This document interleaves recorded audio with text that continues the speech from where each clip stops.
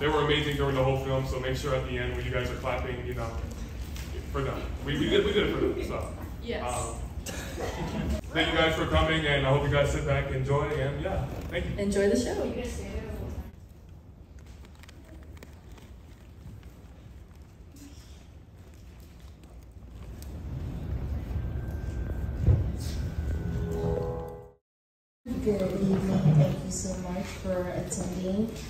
the premiere of Revolve, directed by Johnny Williams and Brianna Circe.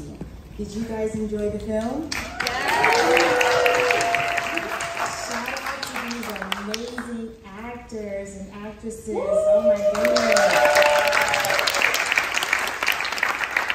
So we're gonna open it up for a little Q and A. Um, I wanted them to have an experience of, you know, showing their film and being able to talk about it afterwards. And so I'm gonna direct my first question to Johnny and Brianna. What was the inspiration behind Revolve? The two of us, I mean, AJ's been making music, music videos and whatnot. We were like, uh, AJ was like one day in the cafeteria, hey, do you want to make a short film? And a bunch of us got together and we were like, yeah, let's do it. So I think the inspiration for me was just taking a project from the very start, an idea, and making it into something real like it is today, all the way through to the end. That's my, that's what I, my awesome. inspiration How about you, AJ? You want to add to that? Um, I think my inspiration is just uh, my drive to want to, you know, be able to do this in the future. So I think that, you know, starting early, even though, you know, I'm, I guess I'm pretty young, but even though I'm starting really early, uh, it's good to have the experience and then see how everybody's gonna all work together and, you know, how it's gonna be in the future. So, you know, when I do this in the future, I'll know how it is, you know. Awesome. And how difficult was it to put the script together and then locate the actors? Oh. Is that how it started back then, we, were- once we got the idea, we wrote some drafts, and as we were finishing the script, we did auditions for our lovely actors here. Oh yeah, lovely actors here. You know, thank you guys so much. We have some of the um, people who also helped us. Say hi, she's up there. Say hi. Uh, yeah, so you know, honestly, a lot did go into all this. Um, we were like casting for like two weeks or two weeks to a month, and you know, these are the best options that we can find. You know, they're, they're pretty okay. You know, not, not nothing special, but you know, um, they did their jobs. Uh, a lot of dedication from everybody, a lot of scheduling, Yes, a a lot lot, of a time. lot of rehearsing and rehearsing and rehearsing and filming and filming and then Oh. So I'm gonna ask two more questions and then I'd like to open it up to the audience if the audience has any questions. So actors and actresses, tell me, how challenging was it to play your roles knowing how the end was gonna be? I guess I want to talk. No, no, no. You I just want to know what it was. Um, can you hear me? Yes. Okay. So, funny story. I helped out. I helped out at the initial drafting process. Okay. Um, it was the three of us. Um, I was watching a TikTok. Shout out TikTok. Love it. Um, no, not applaud. That thing's still there. um, I had watched a TikTok and it was like a Walking Dead thing popped up, and it was about Rosita. I'm not going to do any spoilers because he hasn't seen it. And I was like, you know, what would be cool if it started where it ended and someone just died. so I knew from the beginning how it was gonna go. Um, like from before the script was even done. Yeah. So uh, And then the other.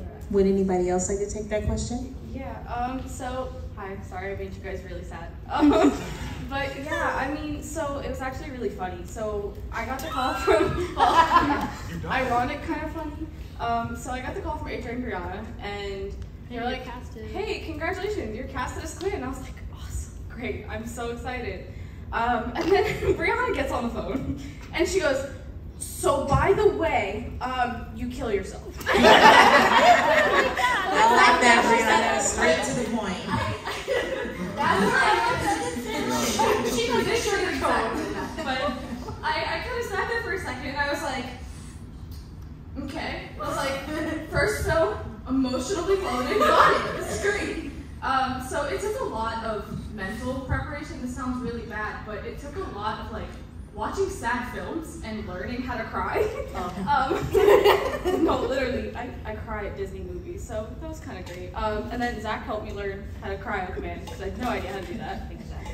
Um, so yeah, I would say for me, it was just like a lot of emotional preparation, um, as well as like really trying to get myself into the character's personality and realizing that like she's emotionally going through this, and it, it almost was it was difficult because you had to keep yourself from becoming the character and from I guess emotionally locking yourself into Mhm. that situation um, while still being able to portray the emotion of someone who knew that the character had to off themselves in Mhm. order to save her friends or her family, I guess. Oh, now for the two male actors, you guys would seem to be the toughest in the group, right? So how tough was that that? Because you knew what needed to be done, and like it seemed like they weren't really like trying to hurry up and get to what needed to be done. So how hard was that? Uh, it wasn't hard at all. Oh, really? On the screen. I honestly just okay. So a lot of my lines are kind of mostly just improvised. okay. A So my character was uh, mostly seen as a jerk, Right. and so what I, I did didn't want to was, say that. what I'll I, let you say it. what I did was make him. I played myself a little more and just was more of a jerk. I made him more of a jerk by the end of the movie, and it was basically telling her, "Hey, you should kill yourself." He's a very sweet person in real life. In real life, He's yes, a, Ron is an incredibly lovely person. I, I see you guys shaking your head back there. When you grab that shovel and you kind of like swing it over your shoulder. I, I at that, at- it was at that point where it's like, wow, I was really dick the whole time. I maybe maybe I have some sort of sympathy, and I just know that that body is just gonna lay there to rot if I'm not the one that takes care of it. Take it over. Sure. I was doing that Zach, nothing.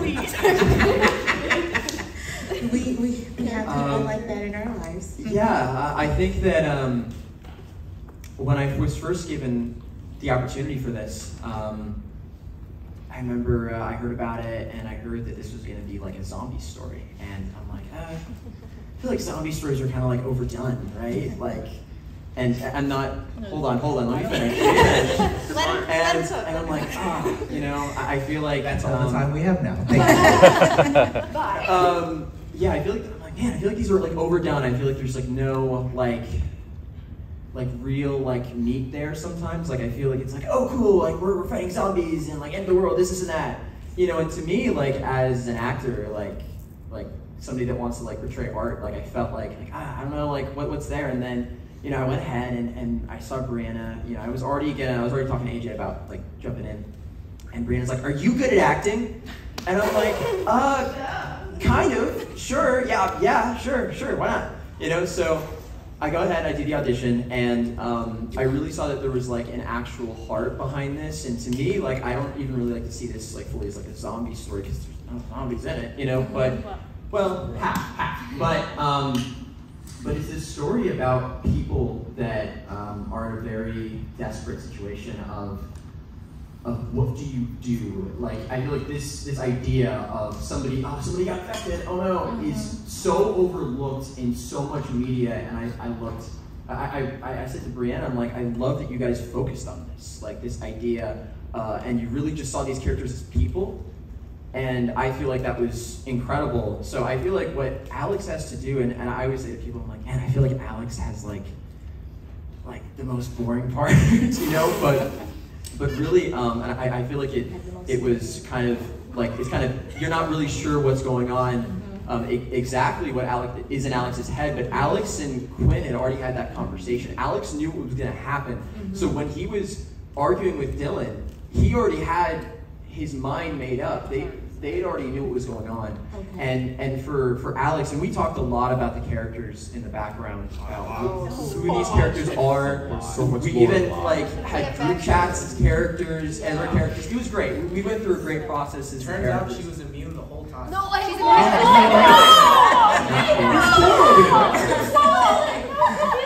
You're fired. Oh my But goodness. um, You're fired. sorry, please, please. The young lady who tripped and fell. Oh my goodness. Yes. Tell us. How hard was that trip? We had to do it over and over again. It was a We lot. had to do it so many times that my foot actually started hurting. Um, So the limping was actually natural. yeah, no, actually, method acting is, is crazy because I just pretended my foot was dead and I actually didn't use it at all. I liked him because he would carry me everywhere. It was great. Um, but yeah, I enjoyed my part. Um, I basically took inspiration that like Emma, she would blame herself for the whole thing since her falling caused the zombie to attack. So I just took inspiration for that and why I'm Mhm. always sad and always like trying to make people feel better in the film Mhm. because it's my fault. Everything. It's everybody. Everybody's fault. It's everybody. It's everybody. You know who's fault? Technically, it's her. The zombie. It's a zombie's fault. It's a zombie's fault, man. Go somewhere else. Oh my goodness. So are there any um, questions from the audience? Sure. Thank you to the cast and crew for the great film and everyone who worked on it. Secondly, I just want to know what's the symbolism for like time and death for you guys in this film because I know this has a lot of like it symbolizes like everyone's time is short. How do you enjoy the last few moments? I blame her for making me try to have fun. when I was just like, I, I, I don't, I don't want to be around her the entire time. That was my, my, my character's thought process. Okay, Batman. I, I want to keep. I wanted to keep. See, the relationship I, saw was. Um, I don't know, Clementine and. Uh, Clement Lee, Lee and Clementine. I don't know if anyone's played the Walking Dead game where um, Lee adopts this little girl in the zombie apocalypse, and she's sad and innocent and just sweet, and I'm just like, I will kill anybody that you know get, gets No her in danger. remorse. Uh, yeah, no, no remorse. I Got already lost my family in the actual thing. I'm not losing my new adopted daughter. Understood. But then she convinced me to like, hey, like see the lighter side of things, enjoy life, and uh, that's kind of like what she does with my characters. Just if it wasn't for her, I'd probably just be. Uh, yeah, I was gonna say just dead inside, more dead inside than an actual zombie. That's also. Would Yeah. some- Would someone else like to take that question? When we first started talking about the script and the characters and exactly what was going to go down in the film, we were talking about a moral or a meaning behind, you know, what these characters are happening, you know, what's happening to these characters. And I think that in a lot of zombie movies, I mean, that I've seen, you know, someone gets bit, bang, gone. But with these characters, someone gets bit and it's like, oh, that's my friend? Yeah. That's my best friend, that's my sister, you know, that's someone that I'm close to, that's a Mhm. real person that is going to turn into a monster. And then how they handle that. Of course, Dylan is thinking, you know, practically like that is dangerous. We have to Right. take care of that. So he's not exactly being a jerk, he's looking out for their safety. But of course, he Absolutely. is kind of a jerk. But anyway, um, that's what I was thinking about for the moral, where it's like, you can always take a breath and think about your next choice, about what you're going to do. You know, you're, you, let's say you're stressed out, you're working, you have, you, you get tunnel vision, you're like, I gotta, I gotta, I gotta, just take a second, breathe, to go dance in the rain, smell a flower, touch grass, you know, and you know, so get yourself a little, you know, and then give yourself a second to breathe, give yourself a break, and then you can go back to think. And I think that's really important for a lot of people to see. Is just slow down for a second. Awesome. Which scene do you think was the hardest to film or to get right? Give me. Still on our. Oh, okay. so it's not gonna. It's not gonna seem like it's gonna make any sense, but that trip scene took so long. The amount of times that they had to trip, and like like they told like they were like, yeah, I tripped. Of, you don't you don't understand. it was so. And where we were shooting, there was a shooting range as well, so we had to think about that. And there was airplanes, and there was like jet skis. I, I don't know what they were doing, but that one was bad. And the hallway scene was really tough. Oh We had to reshoot oh, the entire scene. Oh, I Because you would hear forgot. gunshots. That scene with you guys, like behind the tree, we come find. Yeah. That was totally reshot. Let me. Yeah. Bye. so I was about to say the the tree scene where Quinn and Alex are behind the tree, and there's like that's kind of their last moment where they're like saying goodbye to each other. Super sad. Boo-hoo. Okay, great. Um, so that scene, I wear glasses. Um, I have contacts in right now. that day, I had forgotten to put contacts in, so I have my glasses on. We get through the whole scene. I get to the back of the tree where Quinn and Alex are standing up to go back around. I stand, I put my arm on the tree, and I feel my glasses falling, and I went. And you just see me look up, and they were like, "What?" And I was like, "I'm sorry, guys, I have my glasses on." we had to reshoot that entire scene, which basically was a whole day of shooting, and we had to reshoot that in like 10 minutes because Surrey had to go to work. So it was it was very rushed, but it ended up looking okay. So. Xavier, what about you? Xavier's part of our crew here. Everybody say hi, Xavier. Xavier plays a character that you don't get to see in this film, but maybe for the next one. He, he- he's a time traveler that just popped in randomly for some reason. Bro, spoilers. No, nice. Okay, What was the hardest part for you? the scene that was the hardest for me, I don't know if you guys remember the scene where she was knocking on the door. Um, There was me, Brianna, and AJ all in the little corner. Right. Right there was just a door. It was just a door. We couldn't go in the room, so we were all stuck in the corner. I was holding the light. She was holding the camera. He was holding the mic, and we were all just like. Flashlight and the cords. And it was not just, we didn't just shoot it one time. We And it the fact like I was like behind the doors. on You know, this film did take a while to make, and you know, I am proud of everybody here. You know, everybody played a role throughout all the time in the scheduling because you know not everybody is available all the time.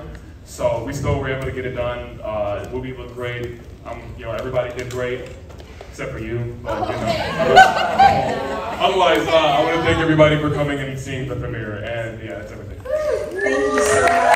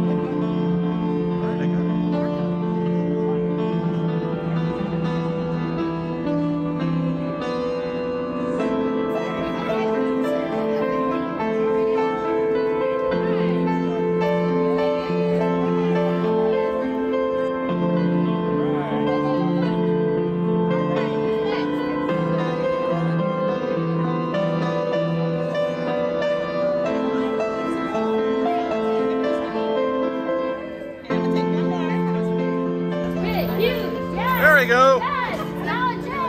It's it's a pen. It's drippy apparently. That was horrible. All right.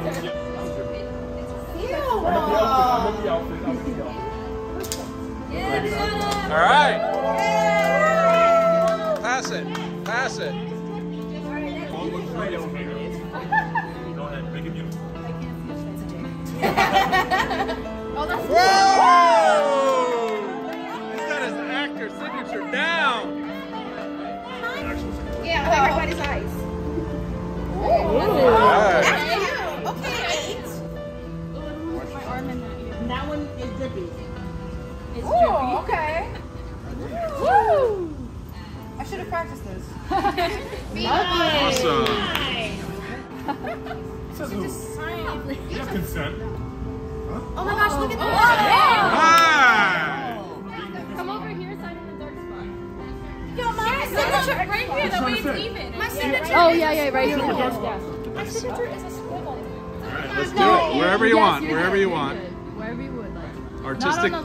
artistic license. All right.